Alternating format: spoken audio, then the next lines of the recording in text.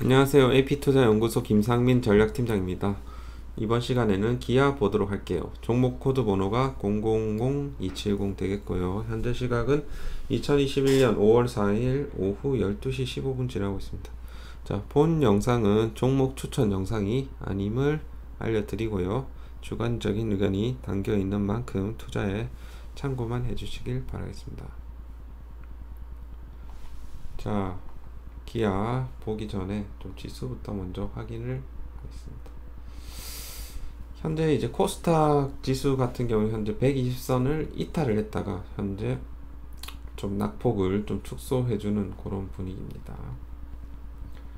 자, 일봉상으로 오늘 뭐 어디까지 낙폭을 축소해줄지는 모르겠습니다만 음, 좀 꼬리를 좀 길게 빼는 그런 형태 뭐 이를테면 이런 형태의 봉이 나온다라고 하면 조금 어 반등의 신호탄에 신호탄이 되지 않을까. 그런 뭐 일단 생각 들고 코스피 지수 같은 경우도 지금 어 61선까지는 일단 열어두고 보시는 게 좋겠고 역시 어 좀 꼬리를 좀 빼고 올라오는 어 약간 약보합권의 어, 봉이 발생한다라고 하면 또 반등의 신호탄이 되겠죠. 결국은 이제 지금 이 지금 6거래일째 하락을 시키고 있고 여기서 이제 외국인 기관들의 저점 매수세가 얼마나 들어오느냐 요게 좀 쟁점인 것 같습니다. 자 그렇게 봤을 때 현재 어, 기관들은 좀 들어와 주고 있어요. 외국인들은 좀 팔고 있고 그 좀 세부적으로 좀 본다라고 하면 코스피에서는 현재 어, 금융투자 금융투자 쪽에서 1167억 원 그리고 아 금융투자에서 666 보험 투신 그리고 연기금이 406억 기타 법인 157 이렇게 현재 매수를 해주고 있다. 그리고 코스닥에서는 현재 역시 금융투자가 183억 원. 나머지는 어, 좀 매도를 하고 있다. 어, 수급적으로는 이렇게 보시면 되고 지금 금융투자 쪽에서 좀 저점 매수가 들어오고는 있습니다. 근데 전체적으로 봤을 때 이제 금융투자가 어, 지수를 좀 방어해 주기란 조금 역부족인 것 같고 이제 외국인이 좀 들어와 줘야 돼요 결국은 그래서 그에 따라서 현재 뭐 코스피보다도 사실 코스닥 종목들이 많이 빠지고 있죠. 그래서 지금 현재 뭐 대형주는 그나마 지금 삼성전자를 기반으로 해갖고 좀 선방을 해주는 것 같아요.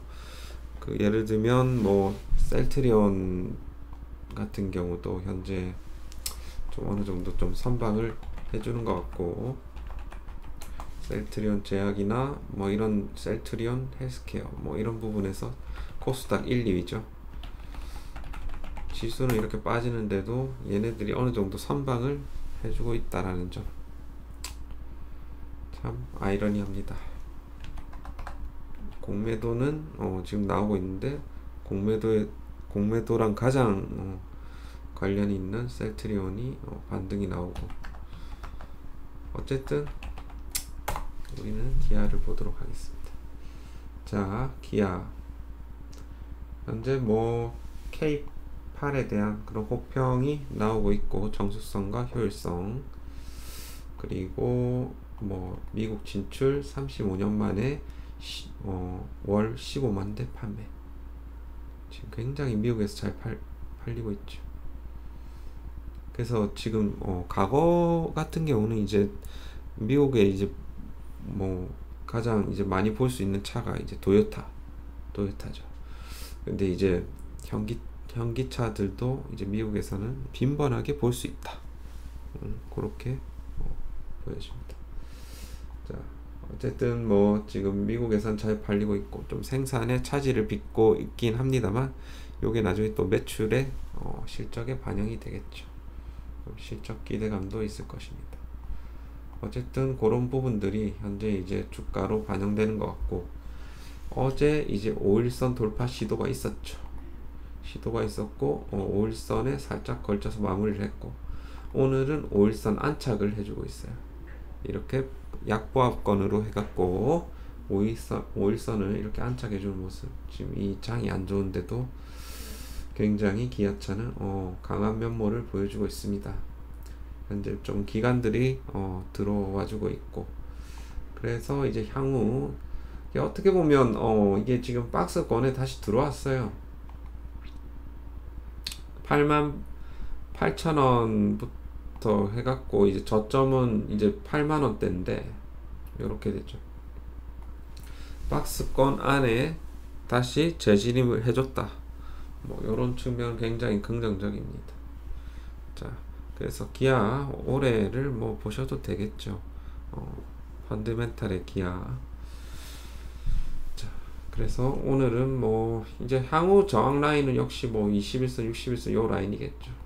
83,200원 정도 보시면 되겠고 이 박스권을 어떤 모멘텀으로 이제 돌파를 하게 될지 실적 모멘텀으로 돌파를 하게 될지는 모르겠습니다만 어쨌든 중장기적으로 홀딩을 하시면 저 박스권은 언제든 돌파를 하게 될 것입니다.